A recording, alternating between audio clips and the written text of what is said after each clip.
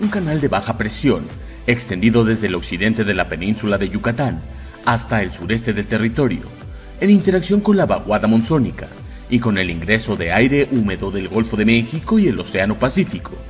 Ocasionarán lluvias puntuales intensas en Veracruz,